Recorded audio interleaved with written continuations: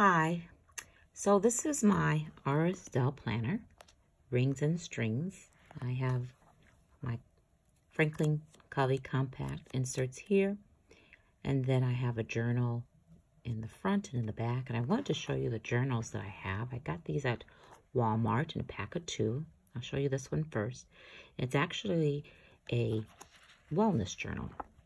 So you have on one side here where you can put down your meals um, seven days a week, breakfast, lunch, dinner, and snack.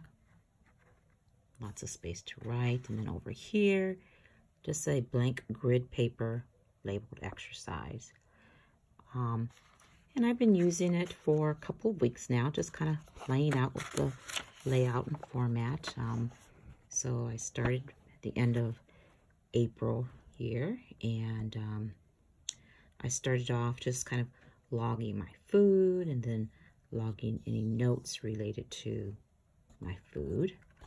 And then on the exercise side, I was kind of bringing over the row to include the exercise, if I did any, for the day. Uh, I do a lot of tracking, so here you can see our um, steps and sleep and miles and minutes. And then I also tried to do some other tracking. Wasn't very successful with this. I think the list was too long. Um, the following week, switched it up a little bit.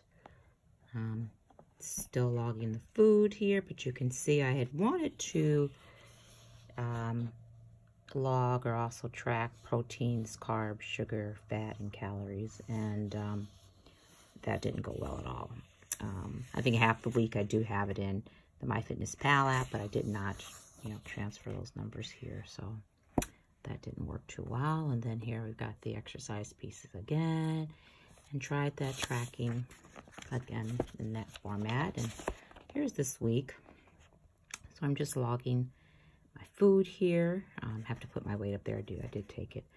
Um, and then I decided to go with a different type of way to track my exercise and things and a smaller tracking box here. And today's Thursday and um, still not doing well with that. So I've got to figure out a better way to do the tracking pieces. But um, quite a few pages here. Um, all the pages are the same.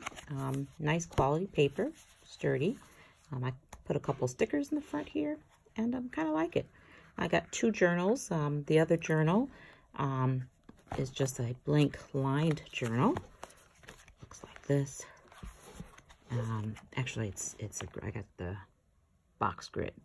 Um, but I'm using that more kind of like uh, for notes, um, list project things.